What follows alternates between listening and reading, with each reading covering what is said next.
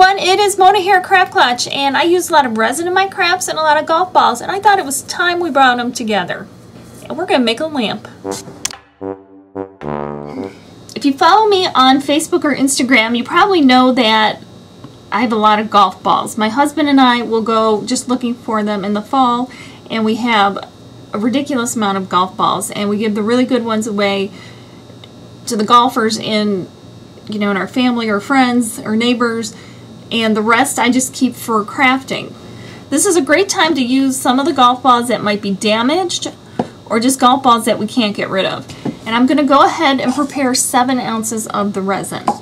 This is a mold that I'm going to be using and I bought it off of Amazon and if you're looking for it you can find it. I have it linked over on my website at craftklatch.com where you'll find the full directions for this and all of my other crafts as well. And I'm using the Envirotex Lite on this project. I have made seven ounces. I measured carefully, mixed it really well, and I'm using a quarter cup of glitter. We'll see if that's enough. I think it should be enough. I'm going to pour it right in there.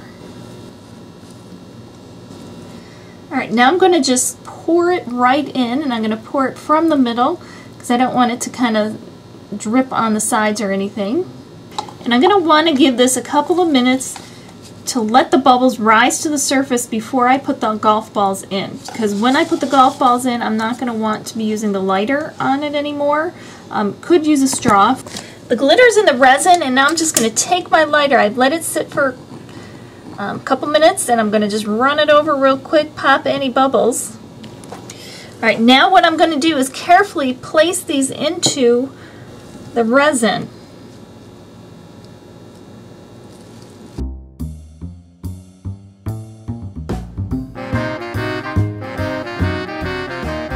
I'm going to let it sit until it hardens enough, then I will take it out and I'll put it on a flat surface to let it continue curing because I only have the one mold and, and I have to do three other sides. So I'm going to repeat this process three times. The golf balls have set and now I'm going to just remove this.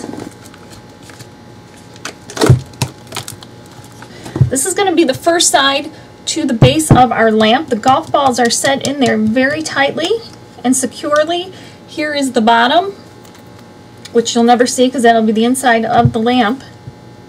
I have two base pieces. They're 4 by 4 and they're just like a wood pine piece plaque that I got at the craft store.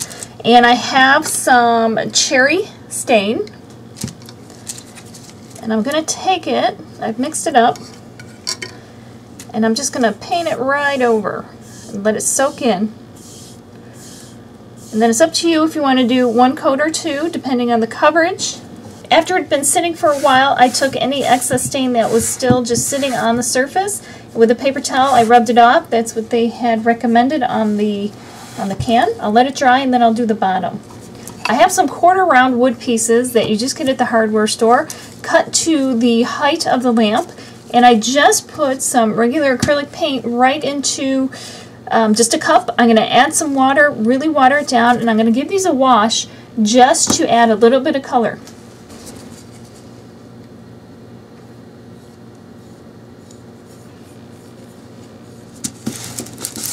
Okay, then I'm going to take a paper towel, wipe it right off. That leaves some red color on there, and if it's not enough, go over it again. And do it again. And you might let it sit for a minute if it's all depending upon the effect that you're going for.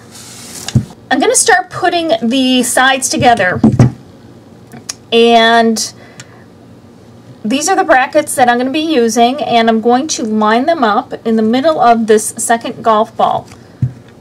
But I want to pre-drill the hole. I'm going to use my rotary tool for that with a small drill bit. So I'm going to hold it right up to the edge. And you want to feel along the edge to make sure that it hits the corner. And then it's right on the edge and not hanging over. And then you want to carefully try to get right in the middle.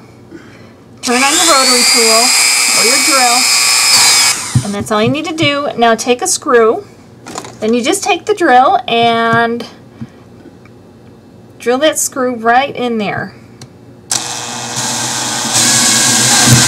Now what you want to do is take the corresponding edge on the other one And you want to do the same thing, do a pilot hole and then put the screw in.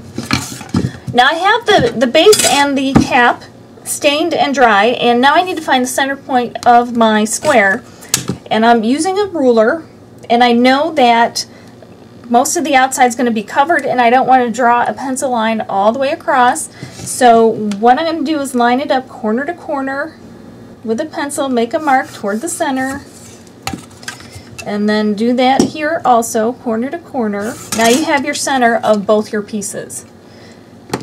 And now I have to turn this thing into a lamp and I need to drill a couple of holes into the wood base to accommodate this size. I'm ready to drill the hole into my pieces and I have a couple of pieces of wood just to raise it up off my table so I don't drill a hole into the table.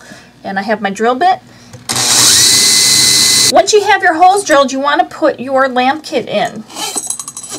And you've got your nut, your screw, and put it together. And I'm going to put it on here so it can stand a little straight. I already put the joiner piece into here. I've centered these onto the base. And now I'm going to remove one of them. I'm going to glue just under the base. I know you can't see it, but it's just to hold this in place because I'm going to need to flip it over. Okay, and I'm going to take this one and just put the glue right underneath and then place it back down. I'll let that cool and then I'll be able to flip it over carefully and hope that they don't shift. We've drilled some pilot holes in here and now we have some screws and this is to anchor the base to the body of the lamp. Here it is all drilled in so it's nice and tight. So everything is in place. I've threaded the lamp piece through here. And now I need to, and this is still a little bit loose, but don't worry about that. I've got my E6000, which will keep everything in place. I'm going to run it along the corners here. Everything feels pretty secure, but it's always nice to give it a little extra security and I'm going to run a little bit along the tops here. Alright, so that's in there, but I'm going to run a thin bead along the edges of all of these. And I'll carefully put it in. Now I have everything secured, and I want to put a little bit of decorations around the base. So if you had any glue seep out or anything, this is the perfect time to hide it.